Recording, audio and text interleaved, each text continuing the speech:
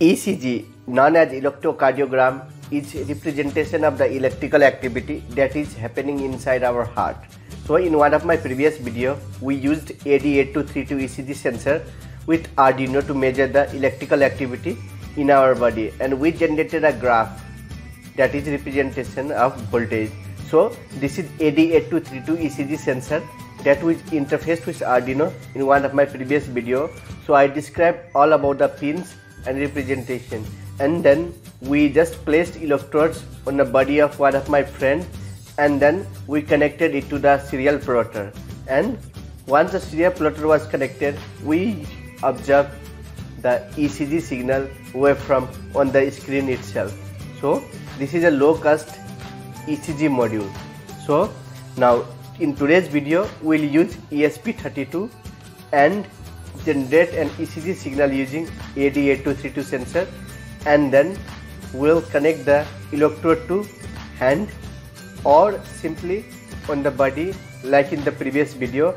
And when the waveform will be generated we'll use an online platform called Ubidots where we'll upload the sensor data like the data from the ECG as you can see here the ECG signal is directly uploaded to internet. So you can monitor the ECG data from any part of the world using IoT device. So let's begin.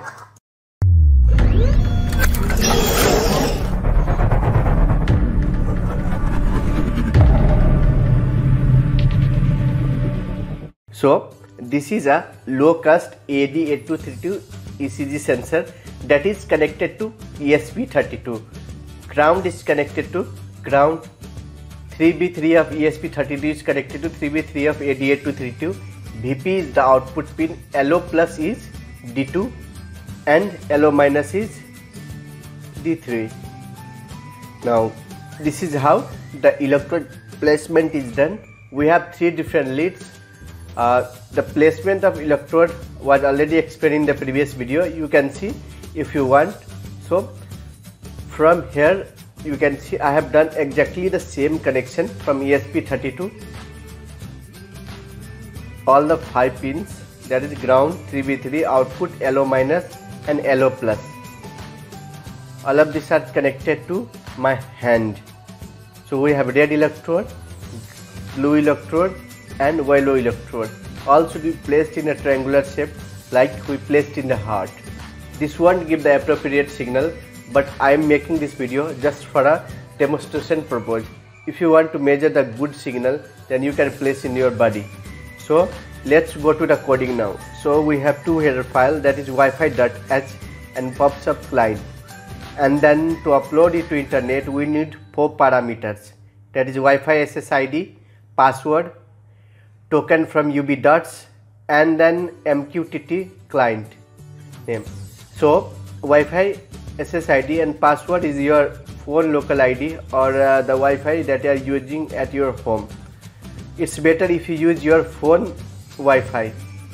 So now let's go to the Ubidots. So just go to this website. So this is the first link and then just create an account if you haven't created an account or simply sign in if you have an account so I'll make an account very quickly. You can make whatever uh, data it asking. So give the app name. And then insert a password and just simply click to create.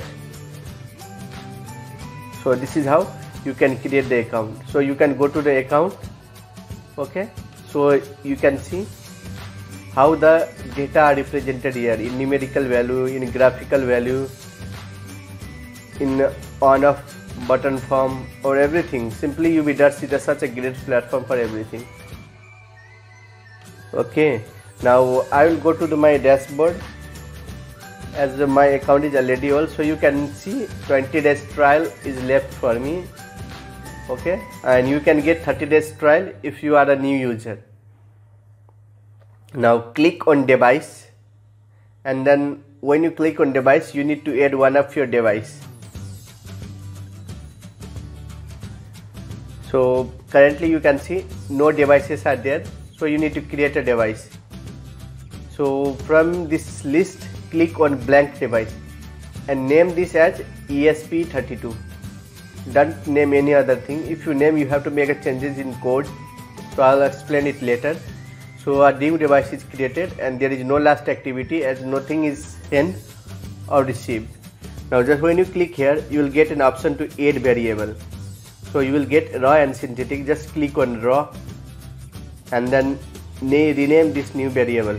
Rename it as sensor. If you rename it any other thing then you need to make a changes in your code. So now you can see uh, there is a description tab where you can add the description you want. So the device is created and its parameter is also created. Now we need to go to the dashboard and create a graph. Graphical representation I mean. So click on add a new widget. So you can click plus sign to create. So here you can see there are so many widgets. So from here I will select the line chart only. So click on plus add variable so add ESP32 that was created earlier and then click on sensor. So done. So leave everything blank except the appearance name. Rename it as ECG monitoring or ECG sensor or whatever you want to do. So I'll rename it as ECG monitoring.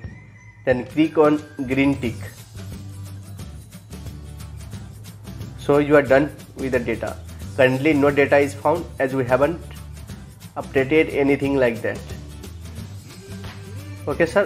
From here you have so many options to edit download share or whatever modification you want to make. Now let's go to the program again. So here you can see ESP32 the device name which was created earlier. That is why I asked you to rename the same thing. If and here you can see it's written as sensor so you can see on the left side it's a sensor. So if you want to rename any other thing you need to make changes in the code too. Or changes in the Ubidots account API label. Now go to the dashboard itself. So still there is no activity. So now make changes in Wi-Fi SSID and password. We need token. For that go to your ID and click on API credentials now here click here to show. So this is my token. Now copy it. Now go back to the program. Make a copy paste here. So my token is the same. And uh, also change your SSID and password. MQTT cloud name can be anything. You can name anything whatever you like. It should be between 8 to 12 characters. Now connect the ESP32 with AD8232 and connect it on your hand or in your chest. Now select the device. Okay so ESP32 development module. Upload speed should be lesser than 115200 and leave everything as default.